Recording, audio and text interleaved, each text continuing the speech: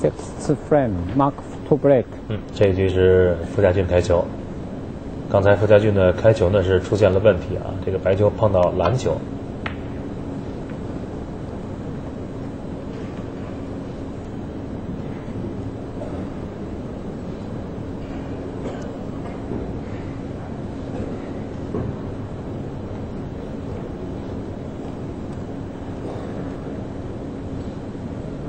你会来看一下。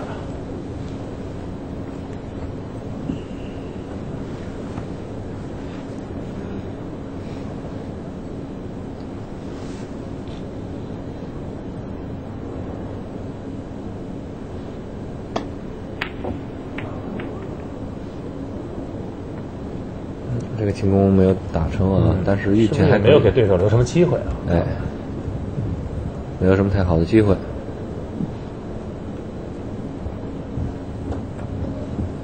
傅家俊在上个赛季的表现是让我们的球迷非常的欣喜啊。哎，将自己的这个世界排名提升到了第八位啊。嗯。当然，之前我们也说过啊，这个现在这几个月正值这个休战期啊，这个职业斯诺克的休战期。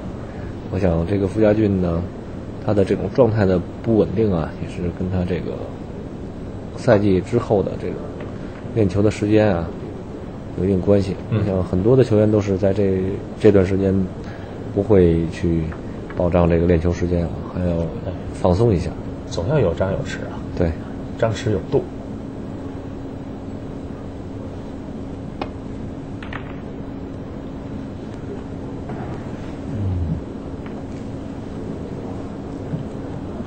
哎，看来好像是露了出来了，底带的红球。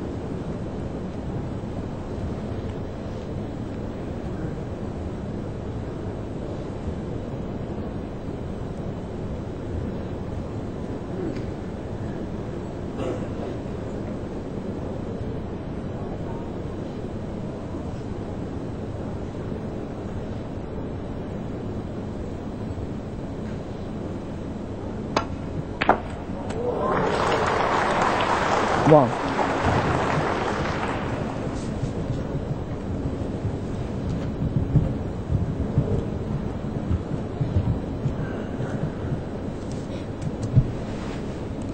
那这个红球打进之后，篮球的角度其实还可以啊，就是手架稍微有点别扭。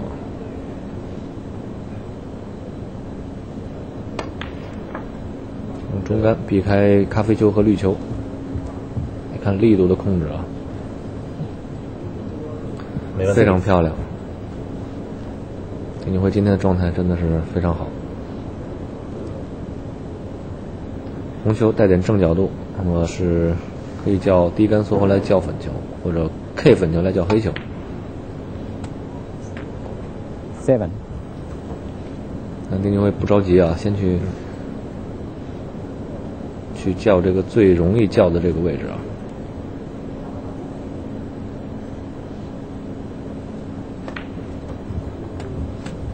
粉球打进之后，看看这个自己的点位有没有被占住啊？但是并不急于把黑球放回去啊。对，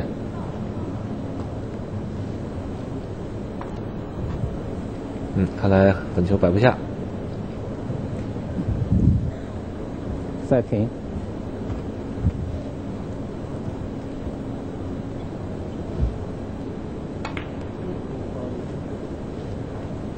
Fourteen.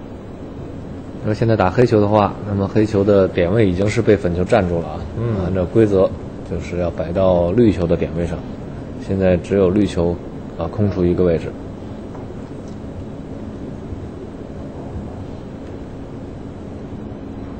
这样还不如保留这个黑球，是不是选择蓝球啊？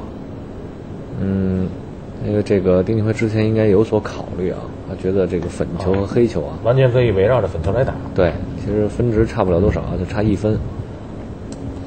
哎，这个一两颗球看不出来，我我老觉得这个，呃，打上五六颗、七八颗黑呃球之后就能看出来了。哎，这个是这么计算是分数会差的比较多啊，但是呢，呃，如果是也得看这个球形和局面。斯诺克讲究顺势而为啊，还是别强求。嗯，如果非要腾出一个位置给这个黑球的话，那有可能打到三四颗的时候就要就要断了。嗯，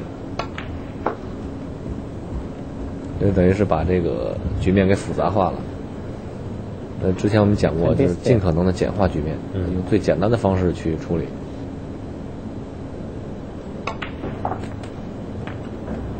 28.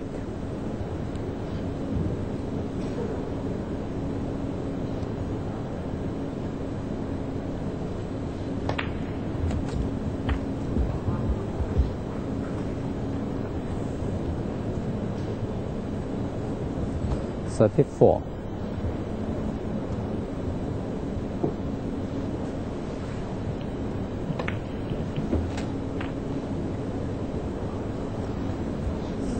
35.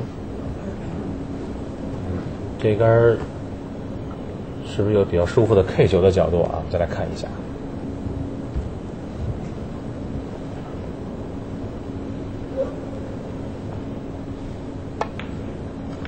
嗯，是 K 球，刚好是带散一点儿。哦，这力度控制的也不错。对，哇，得撞得很准，而且是把这个红球队打的这个位置啊都是非常舒服。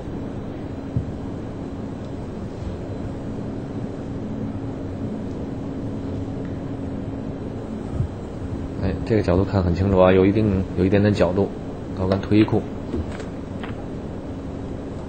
41. 粉球角度偏大了一，稍稍偏大了一点啊，这反角形成的太多，这样的话就需要用很轻的力量去打。如果白球再多走一点的话，啊，这个发力就会更轻松啊，更舒服。很轻的力量去推，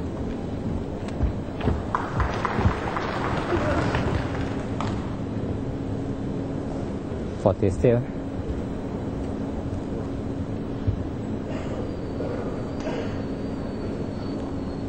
红球稍带反角，嗯，来看看用低杆啊能不能避开这个红球堆，选择用高杆去撞开，哇，看效果，呃，这个效果并不理想啊。嗯，48.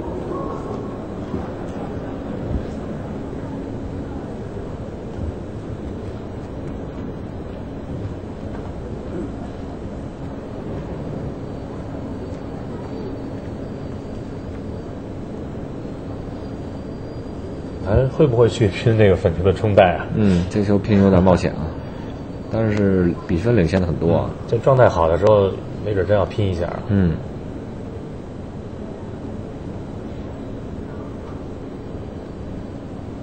来真是要拼。哎，这个镜头给的很舒服啊。哎呦，好球！那这样傅家俊悬了。哎，通过这个带口的这个镜头看到这个丁俊晖瞄这个白球啊，瞄高杆瞄的很正啊，正中心的位置。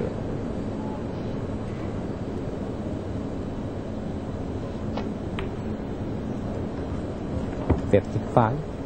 其实这杆拼的还真是有点冒险啊。嗯拼不进的话，白球这个位置也太舒服了。对，但是这个丁俊晖之前也自己说啊，心态很放松，因为这毕竟是啊一个啊算是一个表演性质的比赛啊，可以看看把这个输赢放下的这个丁俊晖啊，他的这个功力还是很深厚的。61. 在放松的状态下，丁俊晖还是很厉害。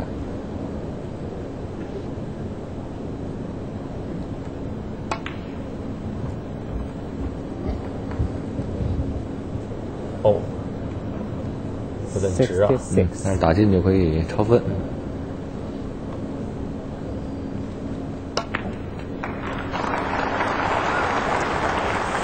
67. 傅家俊已经准备收杆了。嗯，这个这个的确，这场比赛我们看的还还没怎么看的过瘾呢，好像就要结束了似的啊这两个人丁俊晖状态太好了。两个人没什么回合，嗯丁这个傅家俊基本上都没有上手的机会啊。